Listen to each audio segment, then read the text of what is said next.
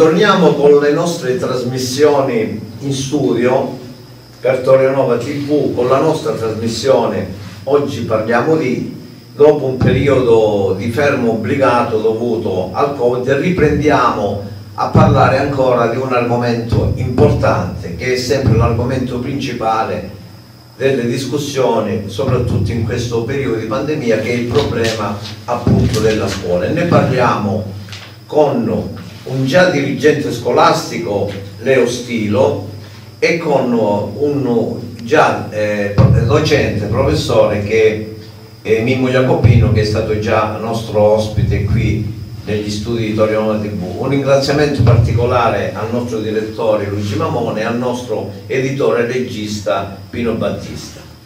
Allora, quest'anno che si sta concludendo è stato un anno difficile abbiamo avuto il periodo della chiusura, e della mancanza di socialità all'interno della scuola. È nata questa didattica a distanza, la cosiddetta DAD, sulla quale i giudizi sono abbastanza controversi. I ragazzi, i docenti si sono trovati di fronte a un computer, a un tablet per eh, condividere un percorso formativo allora, sulla didattica a distanza c'è stato un dibattito abbastanza molto acceso, e che è ancora diciamo, un dibattito che esiste ancora oggi, anche se adesso noi sappiamo che eh, i ragazzi sono tornati in presenza all'interno della scuola per concludere diciamo, l'anno scolastico. Allora, io vorrei chiedere a uno che è stato dirigente scolastico qual è il suo giudizio sulla RAD? Rosso Restilo. Ma eh, come ogni cosa ritengo che eh, anche questo modo di lavorare per la scuola ha i suoi limiti e ha le sue opportunità. I limiti quali sono? La data intanto significa didattica a distanza, l'ha detto già il, chi ha presentato. Eh, I limiti, a mio modesto avviso, sono l'assenza di un contatto diretto tra il docente e, e gli studenti e l'assenza di socializzazione tra gli studenti stessi, perché non dobbiamo eh, scordarci che la scuola è un, un punto, un posto dove si socializza e non si socializza, non c'è soltanto la trasmissione del sapere o la costruzione del sapere con gli insegnanti, c'è anche la costruzione del sapere insieme, insieme agli studenti, insieme tra di loro non è soltanto costruire sapere, ma costruire motivazioni, costruire eh, sensibilità, costruire emotività e questo lo si può fare stando anche tra pari, tra pari e non pari, perché poi nella scuola non si incontrano soltanto quelli di una classe, si incontrano anche alunni di eh, età diversa e hanno l'opportunità proprio di eh, socializzare e quindi di crescere in questo modo. Quindi uno dei limiti maggiori della DAD e l'assenza di socializzazione. Si sta lontani, quindi si sta ognuno a casa sua, a casa propria, con difficoltà, se non attraverso lo strumento, di poter eh, socializzare con i compagni, poter toccare i compagni, poter parlare con i compagni. Le opportunità. In effetti questa pandemia ha portato per la prima volta la scuola a doversi confrontare con nuovi strumenti. Non è che gli strumenti non esistessero anche prima non c'era però la forzatura, la necessità di utilizzarli, per cui la scuola, siccome è anche lenta nel, nei cambiamenti, eh, aveva difficoltà eh, di utilizzare strumenti nuovi. Per esempio a scuola mia eh, la strumentazione diciamo, eh, tecnologica è da molto che veniva utilizzata, però veniva utilizzata con una certa forzatura. Oggi invece con eh, questa pandemia questa pandemia ha costretto in effetti ad utilizzare eh, le nuove tecnologie. Sappiamo cos'è la data, abbiamo, detto, abbiamo già detto, da una parte ci sono gli insegnanti che magari conoscono meno le tecnologie degli studenti e dall'altra parte ci sono, eh, ci sono, delle piattaforme informatiche in cui eh, si inseriscono, eh, ci, ci, ci si sta insieme alunni e eh, professore però a distanza. Ci può essere anche la classe virtuale, ma sempre anche nella classe virtuale ci si può parlare, ma eh, non ci si può vedere, non si possono, ecco, per esempio penso ai ragazzi, ai ragazzi più grandi, il discorso dell'affettività, anche il discorso di poter incontrare la compagna o il compagno, è venuta meno. In effetti questa, questa, il lockdown, la pandemia, eccetera, ha costretto ciascuno dei ragazzi, ciascuno dei professori a stare lontani.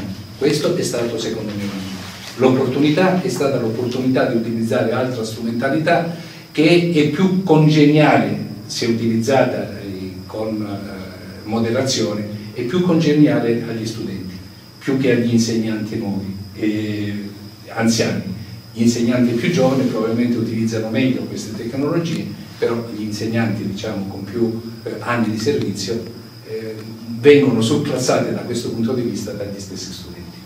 Allora Mimmo, scuola e Covid possono coesistere, la DAD è solo un problema di mancanza di socialità. Certo, è mancanza, certo, c'è questo problema che è un problema molto grosso. Io dico che secondo me, cioè, voglio dire, la didattica a distanza è stata una risorsa. Perché? Perché gli insegnanti si sono attrezzati, hanno cercato di fare sforzi, sforzi enormi per poter sopperire a quella che era la carenza della presenza, della didattica di presenza, così via, cioè, hanno cercato in tutti i modi di sopperire. Infatti io dico che gli insegnanti per me, gli insegnanti, il gruppo, il personale della scuola è un personale che ha un'alta professionalità, che in certi momenti si, si riesce pure a, a, sopperire a quelle che sono le carenze, a quella che è la crisi. Infatti c'è stata una crisi abbastanza seria, quella della, voglio dire, del, del coronavirus. Considerando poi, cioè praticamente si è trovata male la scuola perché? Perché le vecchie riforme che hanno fatto dei tagli indiscriminati al personale, così via, purtroppo ha condizionato insieme, anche perché non erano le scuole, non erano adeguati, c'era un, un accumulo di ragazzi, diciamo, le, le classi pollaio che hanno creato problemi a non finire, i trasporti che non sono stati adeguati alla... voglio dire, tutte queste, tutte queste problematiche hanno creato, voglio dire, che molto spesso voglio dire, si inseriva sempre il virus e così via e si, dovevano, si doveva sempre chiudere, riaprire, chiudere, riaprire, cioè, dire, tutto questo ha creato, ha creato un caos, principalmente a chi? Ai, ai ragazzi che vengono di estazioni sociali povera, diciamo, dove non hanno i mezzi, dove non hanno... Io conosco dei ragazzi che, che purtroppo non hanno fatto niente, anche perché ti voglio dire non, hanno, non, non, avevano i mezzi adeguati, non avevano magari nemmeno il telefonino oppure non avevano una stanza dove, poter, dove potersi mettere per poter voglio dire collegarsi con la scuola, col sito della scuola, così via. Voglio dire, que tutto questo è successo, c'è. Oltretutto è aumentata anche quella che è la dispersione scolastica, che è una cosa eh, abbastanza, principalmente dove? Nell'ambiente meridionale, perché noi purtroppo con, con meno mezzi, perché diciamo che le zone meridionali, le regioni meridionali sono sempre quelli penalizzati anche in risorse, perché magari l'Emilia Romagna è una regione che va che all'avanguardia, che magari ha dei soldi a non finire, principalmente per le scuole materne, esempio. Le scuole materne là magari sono al 50-60%, qua in Calabria sono al 6-7%, voglio dire, non esistono le scuole, oltretutto non, non si è adeguati a quelle che sono le risorse, perché là ci sono più insegnanti, ad esempio in una scuola cioè sono 91, mi pare che sono 106 in Emilia Romagna e 91 nel meridione, principalmente in Calabria.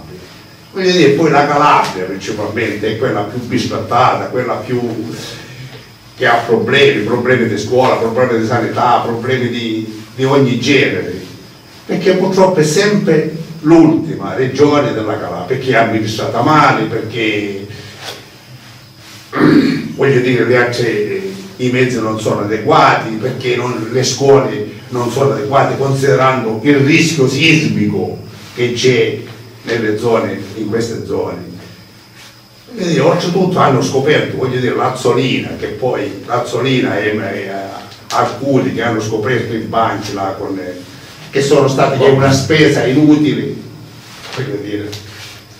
Tutto questo voglio dire, ha condizionato, e, ha condizionato diciamo, la scuola, anche se torno a ripetermi, i dirigenti, gli insegnanti, tutto il personale della scuola è stato all'altezza della situazione perché ha cercato di fare sforzi enormi per poter portare la scuola avanti. Sì, in effetti hai ragione, ricordiamo il dibattito di qualche eh, anno fa, praticamente eh, dopo eh, la prima fase di difficoltà, di confusione che del resto era normale che una pandemia del genere potesse creare, eh, la scuola si era organizzata. Già eh, nel mese di aprile e di maggio la scuola era in condizione di offrire diciamo, la sicurezza ai ragazzi eh, in presenza, però il dibattito poi è andato avanti, lo ricordavi tu, eh, la scuola si deve riaprire, non si deve aprire, è sicuro, non è sicuro, poi alla fine si è scoperto che il problema non era tanto la scuola, ma era il problema che ehm, eh,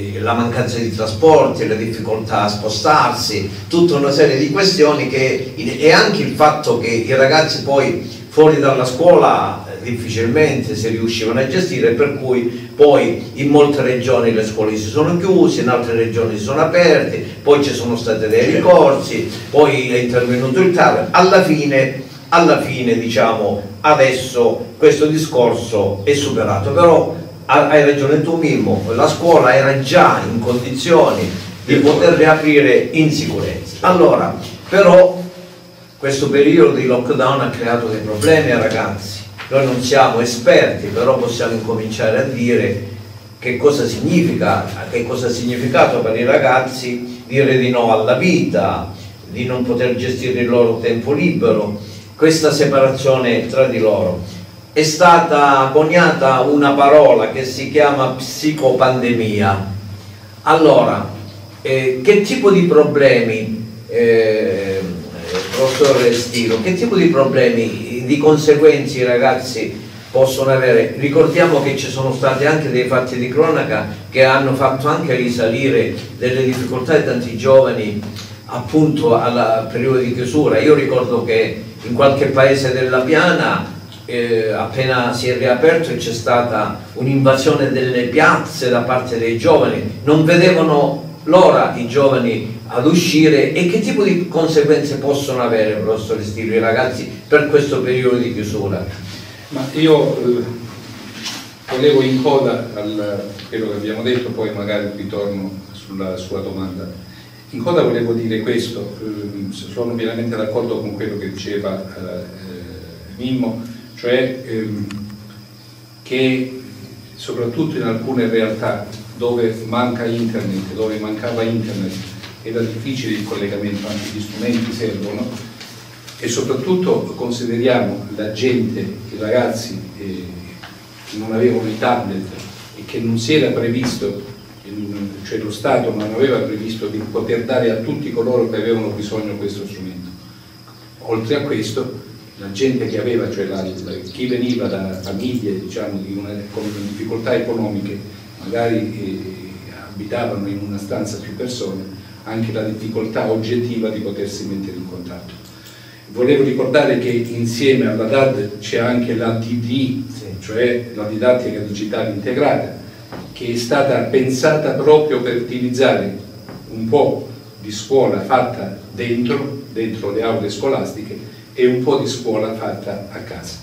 E eh, pensata anche per fare diciamo, una eh, eh, lezione asincrone e lezione sincrone, lezione cioè direttamente dagli insegnanti agli studenti e lezioni che eh, venivano registrate e poi presentate agli studenti.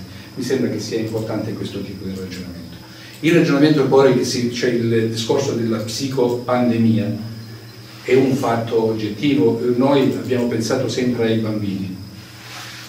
Io ritengo che chi ha sofferto di più non siano stati tanti i bambini, ma siano stati proprio i giovani. Gli adolescenti. Gli adolescenti, perché il bambino comunque ha ancora la famiglia dietro e eh, la le figure rassicuranti della mamma e del papà e magari dei fratelli. Il eh, ragazzo che invece incomincia ad avere il primo amore, avere necessità di, di confrontarsi con i suoi pari, di poter eh, uscire e discutere di problemi della, della sua, della, de, de, de, dei ragazzi della sua età.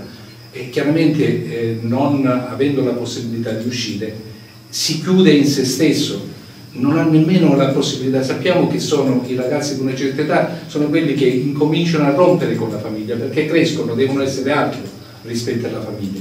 Non avendo il pari con cui confrontarsi, chiaramente cade in depressione. Si è parlato anche di suicidi con i ragazzi più grandi, proprio per questo fatto della separatezza che c'è tra la vita reale, che c'era prima, con la vita artificiale creata dalla pandemia, che la pandemia ha creato una eh, vita artificiale. E mentre nella prima parte della pandemia in un certo qual modo si è sopportato, la seconda parte è stata molto più dura, molto più dura hanno, i ragazzi hanno sofferto più degli adulti. Abbiamo visto che so, sta, stanno soffrendo tutti, hanno sofferto tutti, ma i ragazzi ancora di più, proprio perché sono in crescita e hanno necessità del confronto che allora, lo possono avere in casa. Ecco. Perfetto, quindi Mimmo, un'emarginazione sociale, come dicevi tu, tanti ragazzi rischiano, eh, sono rimasti indietro, ma anche un'emarginazione di tipo psicologico allora. Certo.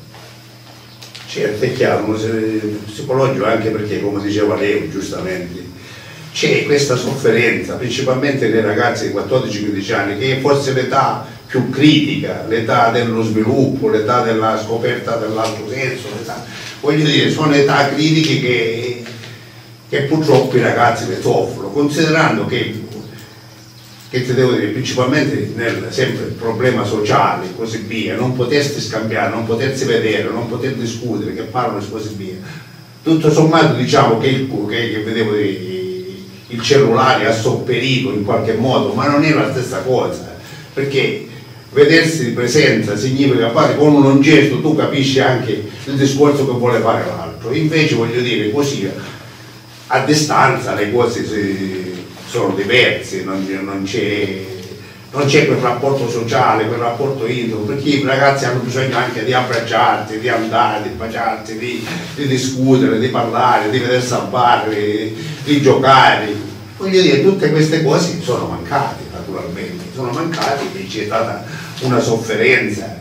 Giustamente come diceva sempre Leo, cioè, dire, i ragazzi magari fino alla media sono sopperiti dai genitori, sono, dire, c'è la famiglia, magari ci sono i nonni, c'è così via. Mentre i ragazzi che, che poi tutto sono quelli che hanno adottato più di, più di tutti la didattica a distanza, perché nelle scuole elementari, nelle scuole principalmente fino alla prima media, c'è diciamo quasi quasi l'anno è stato completo.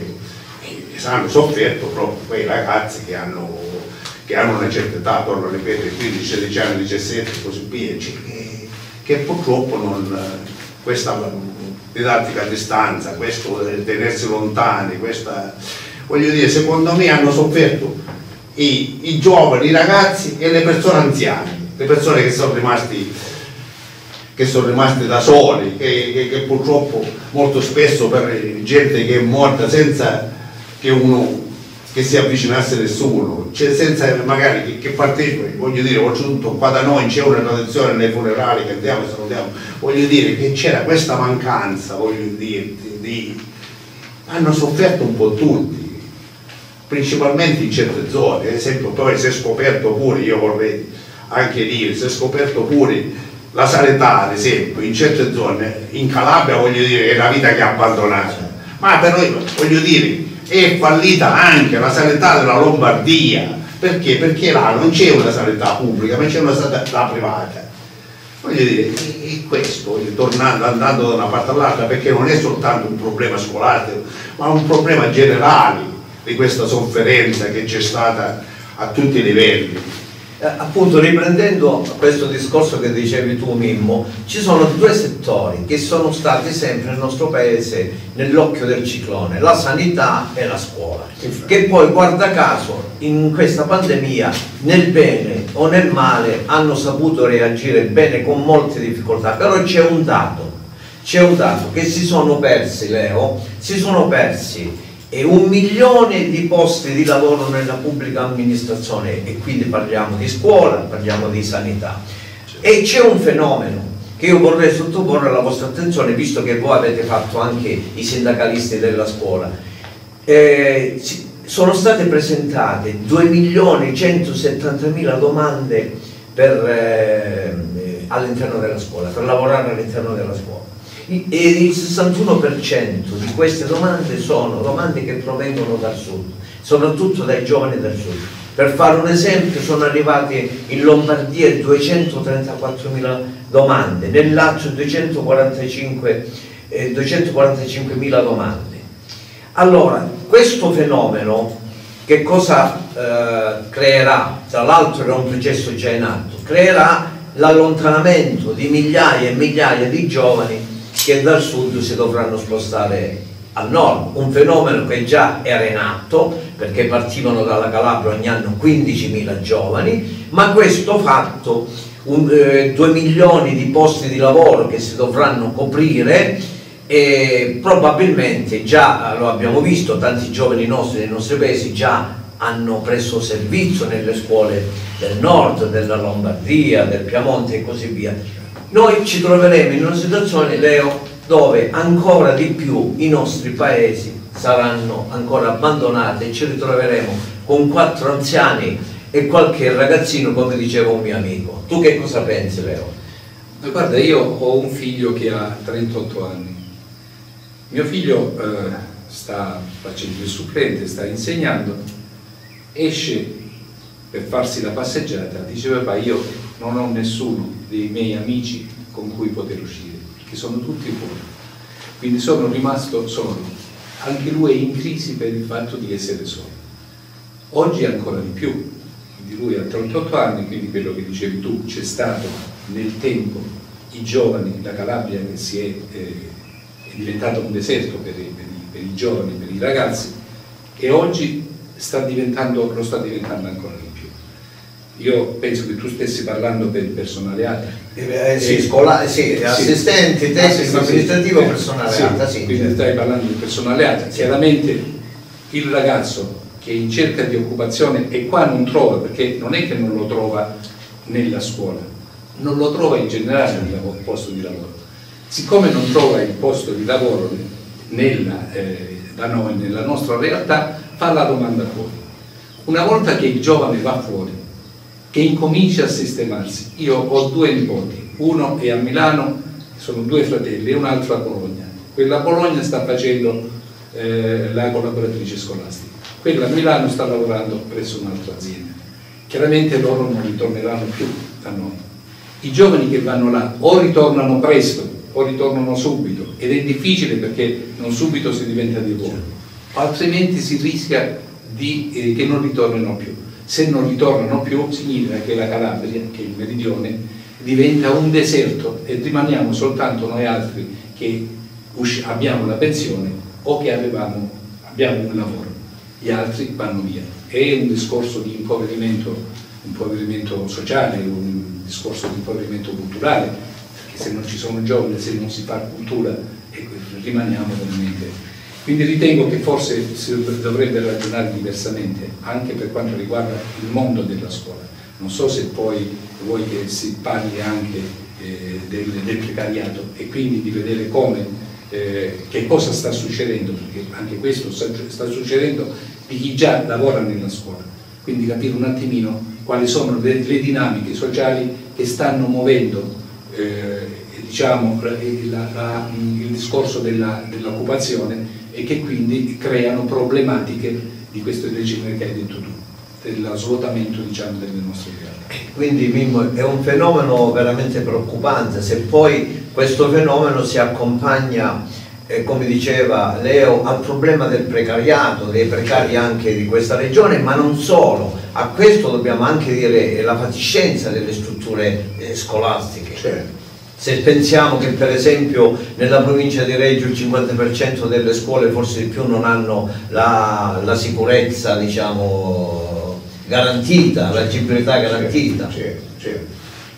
Ci sono vari fenomeni, voglio dire, intanto c'è una desertificazione generali, cioè voglio dire se uno va nei paesi noi siamo tutti gente che veniamo dal paese, io, Leo e così via, c'è il mio paese, è un paese abbandonato, non dico abbandonato, dove sono nato io magari ci sono 200-300 persone.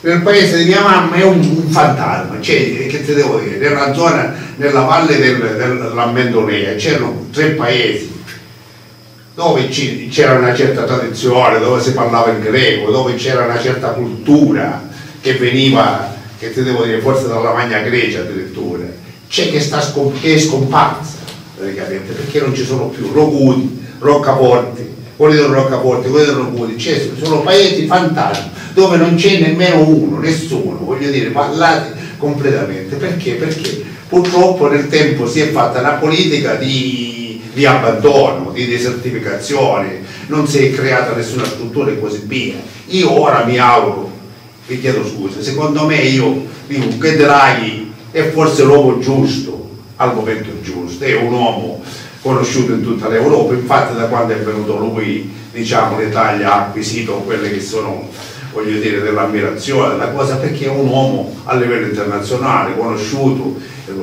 se si riesce ad applicare che te volete, i fondi europei e si incominciano a creare nuovamente, si comincia a ricreare e a vitalizzare quello che è il meridione, il problema meridionale e così via dei bambini, che ci sia una cassa depositi e prestiti dove cioè praticamente i soldi vengono stanziati e non passano mai rimangono. Una volta si parlava della Banca del Sud. Eh, la Banca del Sud, o la mafia e così via, cioè, perché stanno parlando, mi pare, di un personaggio, non mi ricordo come si chiama, che dovrebbe diventare presidente della...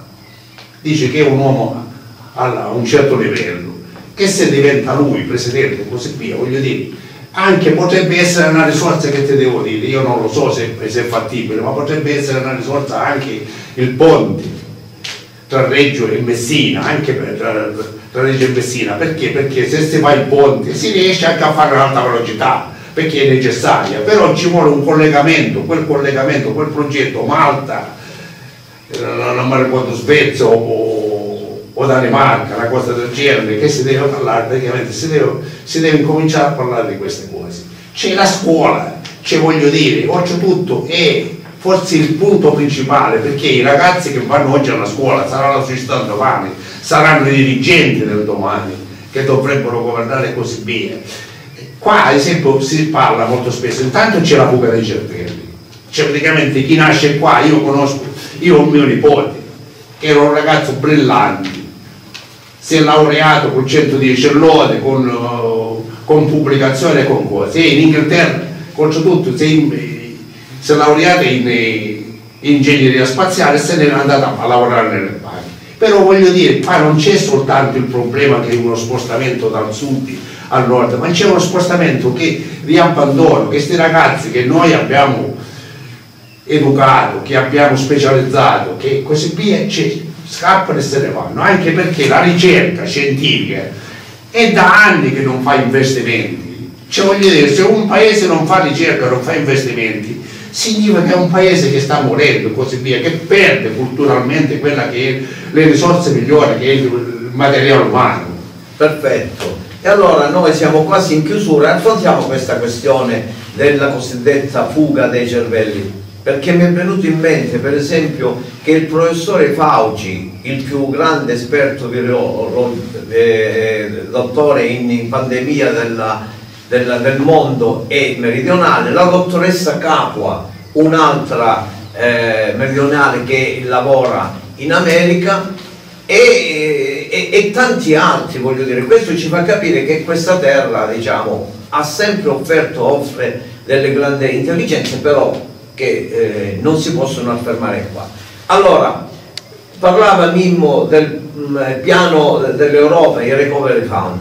Noi avremo nei prossimi anni una spesa di oltre 250 miliardi, miliardi di euro e sono destinate soprattutto alle infrastrutture, quindi parliamo anche delle infrastrutture scolastiche, ma anche per la, ammodernare questo paese, la digitalizzazione, e, e, quindi parliamo delle nuove tecnologie, ma ci sono pure eh, un, grandi stanziamenti per quanto riguarda la formazione. Allora, questo piano è stato paragonato al piano Marshall, anzi il piano Marshall ha speso in proporzione molto di meno di quello che spenderà l'Europa per le Recovery Fund. Allora sarà questa la strada per chiudere questa trasmissione, per far uscire il Sud dall'emarginazione. Leo, tu che cosa pensi? Ma, eh, io eh, parto, se si parlava prima di strutture e quindi eh, della, eh, delle difficoltà che abbiamo tenere le strutture scolastiche a norma. Ricordo che io ho iniziato a fare il direttore didattico nel 1986. Sono capitato in un paese dell'Emilia Romagna. Quando sono arrivato là, la scuola era già a quella data messa a norma, aveva la certificazione, vigili, tutto. Sono poi ritornato dopo un anno qua da noi, ho girato varie scuole della nostra provincia e nessuna delle scuole era a norma, cioè andavi dentro la scuola con tuo rischio e pericolo, ma se ci fosse stato un controllo, cosa che non potevano fare perché eh, la scuola si trovava in difficoltà perché nessuna scuola aveva la certificazione. Per quanto riguarda il discorso, il discorso della fuga dei cervelli, e la fuga dei cervelli è, non è un discorso di oggi soltanto, è un discorso che nel tempo si è sempre più aggravato, ma si è aggravato soprattutto poi dal sud. I, I, nostri prima di andare all'estero, ora si va all'estero e vanno anche quelli del nord vanno all'estero, probabilmente non riescono a trovare all'interno della nostra nazione quelle condizioni che consentono loro di rimanere cioè se io mi laureo in eh, ingegneria e poi devo fare il bancario, probabilmente c'è una condizione che eh, non mi consente di realizzarlo. E fino ad ora, dicevo, e sono stati fino a poco tempo fa i, i nostri giovani del sud ad andare al nord a lavorare, oggi non si va più al nord, oggi si va all'estero e si va all'estero sia quelli che sono al sud sia quelli che sono al nord ci sono eh, 240 miliardi di euro con il recovery fund se non ricordo male. E ci sono, almeno dicono, soldi eh, per eh, realizzare eh, eh, non soltanto eh, nel campo diciamo, della ricerca, nel campo delle infrastrutture, ma anche nel campo della formazione, ci sono delle risorse che potrebbero essere congruenti se utilizzate e se utilizzati bene. Ogni cosa non bastano soltanto i soldi, bisogna vedere come vengono utilizzati e se entro il 2026 riusciamo a utilizzarli perché c'è anche un discorso di questo genere. Per quanto riguarda il discorso scuola, già eh, c'è stato da poco un, eh, il decreto sostegni, sostegni bis con, con il patto per la scuola e si è cercato, si cerca, perché ancora è, è, stato pubblicato il decreto sulla gazzetta ufficiale, ma deve essere trasformato in legge per poter poi essere realizzato, se no sappiamo che dopo 60 giorni decade il decreto. E, e che cosa, abbiamo, cosa possiamo eh, vedere all'interno di questo decreto? Possiamo vedere che eh, ci sono ancora quelle, eh, quelle cose che si danno a mozziconi, che non si vuole veramente realizzare un cambiamento della scuola. Intendo per esempio il discorso del precariato. Allora, se noi abbiamo detto che abbiamo classi pollaio, classi pollaio che sono stati creati non da me, sono stati creati, se non ricordo male, dalla Gelmini, perché io, siccome allora facevo il dirigente scolastico, ricordo che per poter formare una classe dovevi avere 27 anni. Però se poi non poteva scattare alla seconda classe, poteva arrivare a 32, 33 e così di seguito. Quindi potevi avere delle classi con più di 30 alunni. Eh, queste, questo, questa metodologia di formazione delle classi è durata nel tempo, è durata fino ad oggi, è durata fino al, alla pandemia, voglio dire. E se noi diciamo che se stiamo a meno di un metro è molto più facile infettarsi, è ovvio che nella scuola dove ci sono piccole aule, queste sono le aule, eh, la distanza tra un alunno e l'altro, i metri cubi tra un, un alunno e l'altro dovrebbero essere, se non ricordo male, due metri qualche cosa. Ora, in una stanza di questo genere 30 alunni non possono entrare, quindi dovrebbero esserci delle, delle classi delle, molto, molto ampie. Se non questo dovremmo ridurre il numero degli alunni per classe. Ridurre il numero degli alunni per classe significa aumentare il numero dei docenti, perché i bambini, ragazzi eccetera hanno necessità di avere dei docenti per poter lavorare. Noi abbiamo pensato ora, eh, si sta pensando eh, un eh, diciamo, eh, ingresso nella scuola dei precari, di circa si parlava di 70.000 insegnanti. 70.000 insegnanti sono insegnanti che eh, già erano nelle gare, erano nelle vecchie graduatorie, sono insegnanti che eh, hanno vinto il concorso straordinario e poi un numero, si pensa, circa 20.000 di eh, insegnanti precari che eh, sono abilitati o sono specializzati. Anche qua, se noi andiamo a vedere dove gli insegnanti mancano di più, tra virgolette, non mancano di più da noi, perché se non ci sono giovani, chiaramente eh, non ci sono bambini, mancano di più nell'Italia settentrionale.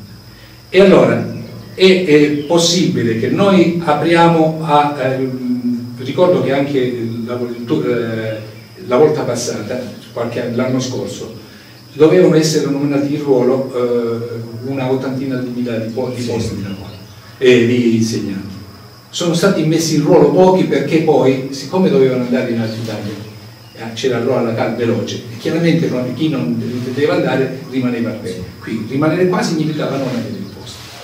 Il rischio che c'è attualmente è che possa succedere la stessa cosa.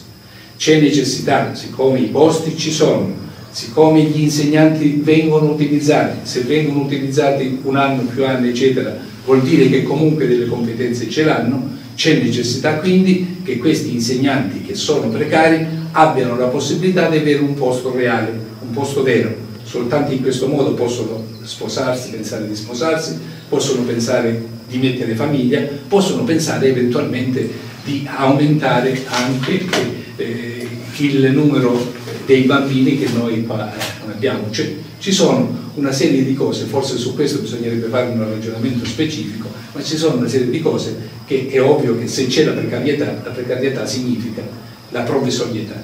Chi è provvisorio? Soltanto i nostri genitori nella provvisorietà eh, facevano figli. Oggi stiamo molto attenti a fare figli se siamo provvisori. Quindi Mimmo, per chiudere, la scuola, come diceva Leo, è un cantiere aperto. Speriamo che eh, questi finanziamenti che ci sono, che ci saranno, che dobbiamo saperli spendere, che dobbiamo presentare progetti, possa eh, diciamo, riempire questo cantiere e portare a termine tutto quello che serve alla scuola, che è un problema, per intanto è un problema di formazione, è un problema di risolvere i problemi del precariato, è un problema anche di strutture, strutture più efficienti. Certo, strutture più efficienti principalmente qua le strutture sono, cioè, come ha detto Leo, sono, certe volte sono fatti scelti. Cioè, oltretutto perché? Perché le scuole che si sono fatte dei lavori pubblici qua sono molto spesso date in mano a certi, a certi individui che li costruiscono magari risparmiando di qua, risparmiando di là così via e poi cadono a pezzi voglio dire questo è un problema secondo me però il pericolo maggiore cioè intanto io spero che devo dire che questo governo questo che è un governo tecnico principalmente scelto io, a me fa piacere che Draghi sta andando avanti senza ascoltare magari un Salvini o un, un Renzi di turno che fanno sempre i due Mattei che sono sempre, per me sono delle tesi, voglio dire, personalmente, ma anche la Meloni, voglio dire, sta gente qua che predica, che fa e così via, c'è anche un pericolo, perché il pericolo è perché il popolo italiano purtroppo non è un popolo tanto che ragiona, che fa, è un popolo che si fa trascinare dai sentimenti dalle cose, c'è chi, chi, parla, chi fa demagogia, ha sempre vinto, così via, lo stiamo vedendo, voglio dire, nel passato. E non è che mi dilungo a parlare del partito, di questo, di quell'altro, però voglio dire, noi qua abbiamo 18 parlamentari di un, di un tipo di partito e così via, e non è che ho visto grandi risultati, voglio dire, che potrebbero essere. Voglio dire, io mi auguro. Mi auguro che questo governo, che, questa, che riesca, riesca, a portare oltretutto un po' di fiducia perché ci sono dei paletti a livello europeo. Perché a livello europeo le cose dicono c'è praticamente che deve essere sopperito, deve essere sopperita quella che è la carenza, il colonialismo del mezzogiorno che si deve sviluppare parte del paese perché se non si sviluppa il meridione muore l'Italia, non è soltanto una cosa. Perciò questo si dovrebbero rendere conto i presidenti delle regioni del nord di tutti i colori, di tutti i colori, non soltanto Lega, Lega in particolare, ma di tutti i colori.